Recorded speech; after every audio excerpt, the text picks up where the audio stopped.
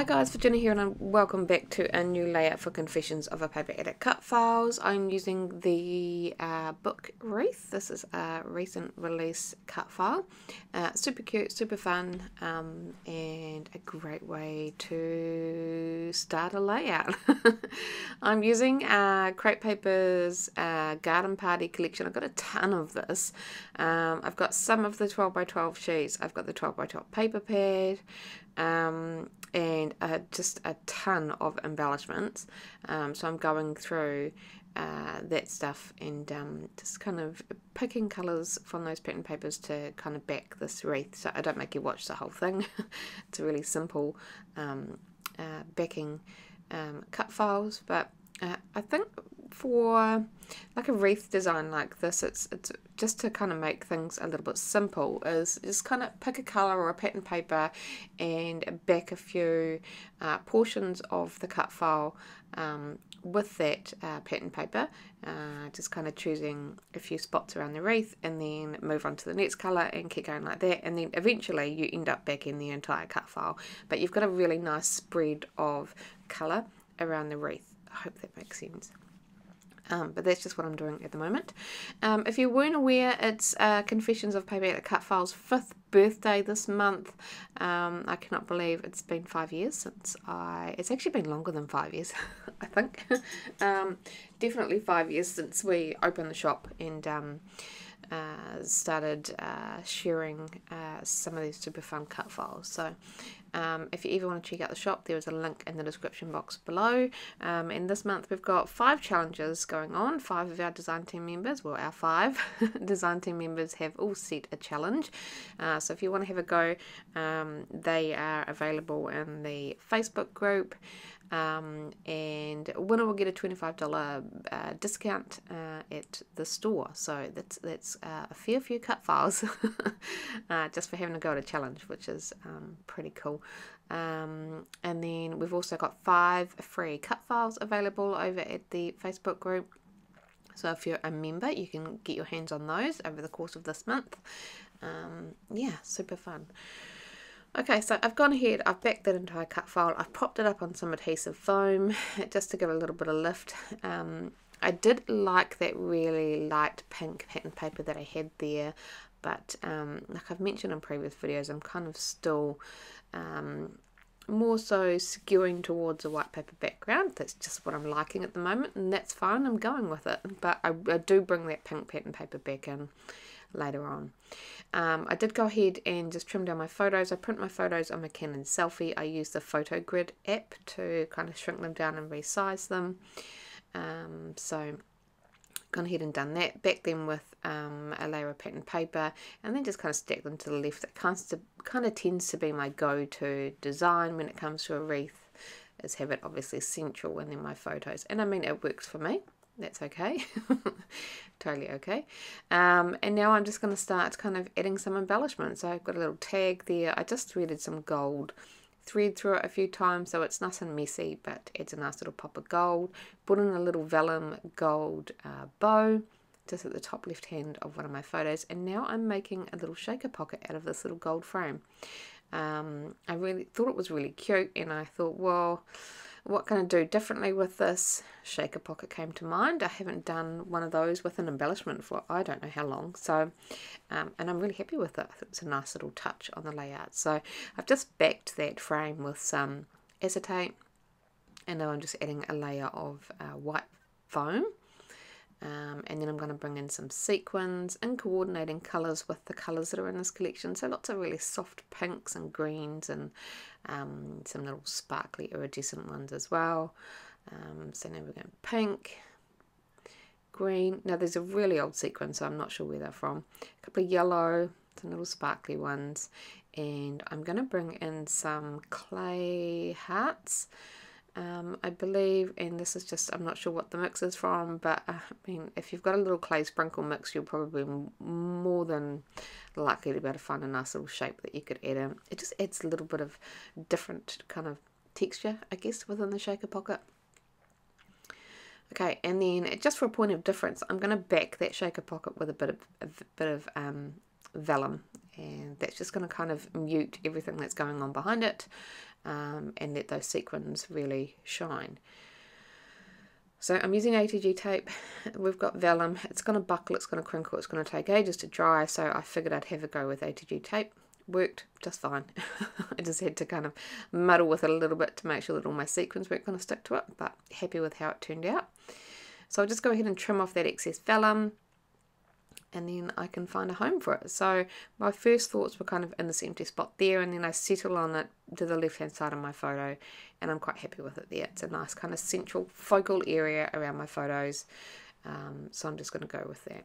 And then I'm just going to keep kind of continuing to um, embellish my layouts um, with all the fun little um, die cut some bits and pieces.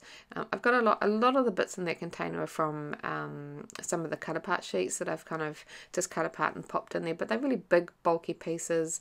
I wanted some really pretty things, so I have, you can see, I'm just piling stuff on top of it now, but a bunch of fussy cut florals that are sitting there waiting to be used, so I do bring in some of those, but firstly I wanted to have a look through some of the embellishments because I know I've got a ton of those and now I've just made a mess. That's alright, it's easy to put back together. um, I still just work my way through there. And I mean, because these are books, um, it kind of lends uh, itself to kind of really putting anything on the page. When I think of reading, you just kind of think of anything's possible, right? Um, a good book has just about anything. It can go just about anywhere. So having uh, lots of little different little icons kind of popping out of those pages um, is always a fun direction to go, and that's the direction I obviously go with this layout. Um, so yeah, just kind of work my way through. If you're wondering what the photos are, they're a little bit blurry, and that's okay. I don't mind if my photos aren't perfect. I mean, it's telling the story, and uh, the girls. Uh, this is um, Edison and my niece. What they call it is uh, Milo and Marshmallow Night. Now, if you don't know what Milo is, think of it like a Kiwi version of hot chocolate.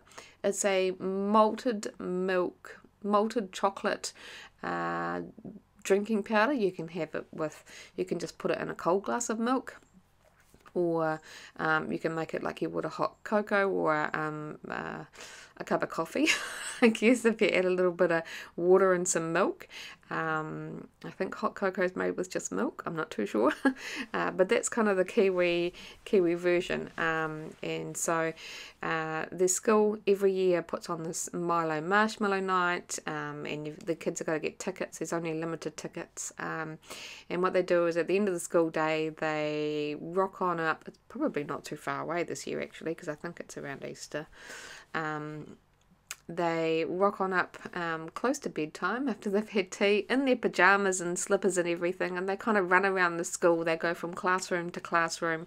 Uh, one of the teachers is in each of the classroom, and they go through. They basically read the kids a book, so they're just kind of hopping around, hearing a bedtime story. it's it's a really cool idea. I love it. Um, but this is the girls we've just got to school uh, that evening and they are racing to go and find the classroom uh, that they're supposed to be in to read the book. So uh, that's why the photos are a little bit blurry, but it's um, it's always a fun uh, fun thing to do each year. Um, I think Eddie's been every year she's been at primary school. This is her last year at primary school. Let me just take a minute for that to sink in. her last year at primary school is crazy. I cannot believe my child is um, just a couple of months shy of turning 11 years old. I still very much think of her as my little baby. um, and, uh, whoops, sorry about that.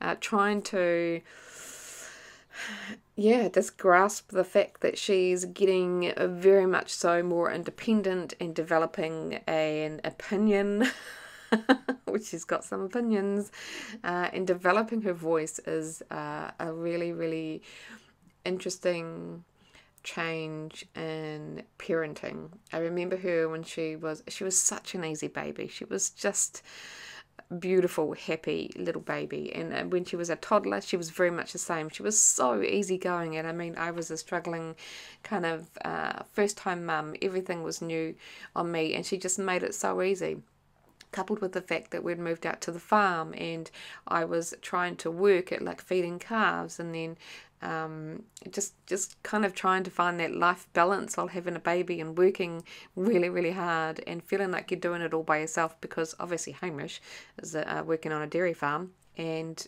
it just consumes his life, really. Um, it was interesting, but she made it easy. Um, couple now, well, moving on now to the fact that she's uh, nearly a teenager. She's not far away, um, and she's kind of developing that personality and realizing that um, she can say no. Whether she gets her way or not is another story, um, but it's interesting. I I like to think of myself as a very kind of vocal person. When I feel like I, I need to say something, I'll say something. Um, and um, like I'm not a pushover. So I while I want her want to encourage her to respect her older generation, I don't want to stifle that kind of um, uh, kind of use your voice mentality in her. Um, so it's it's a it's a fine balance where kind of a little bit of a tightrope we're walking on at the moment, but it's fun. Okay, so while I've been jabbering through all of that, um, I've done most of my layout. I've added, so I've glued everything down. I've added some sprinkly bits. Have I added the sprinkly bits yet? I don't think I have. Um, but I am going to, I've just trimmed down a little bit off each of those white borders and here's where I bring back in that white um, pink uh, pattern paper. I'm just going to border it with that. It's a nice touch, I think. Um, so I've gutted it. I don't want to waste it. It's a really beautiful pink. So definitely want to use that again. And I'm just going to glue it in place. I've left a really, really thin border. So that's particularly why I've chosen to glue it. Um, so I just work my way around doing that um, and then I can flip over the edges and adhere the rest down. Really, really like this layout when it's um, finished. And obviously I did put a title down, read, I mean I thought it was easy, simple, like why make life harder, right? if there's a, a ready-made title or something that immediately jumps to mind, let's just go with it. Um, and I like that I've got that black font there, it really pops off the page. And everything else is just kind of mellow. Like there's a lot going on, um, but it's all just kind of mellowed and just hanging out in the background. And then we've got read in my title and that lovely shaker pock, and it's all just kind of bringing your focus into the important part of the layout, right? The photos. Okay, so here's where I bring in some sequins. So We've got some little white ones. Are they sequins or gems? I don't know something sparkly. So I'm going to add a few of those on and then I decide let's add some of those colourful ones that I've chosen that are inside my shaker pocket around as well. So I sprinkle a few of those. And then um, after that, I think that that's pretty much it for my layout. So um, make sure you check out the links in the description box below and um, until next time, bye guys.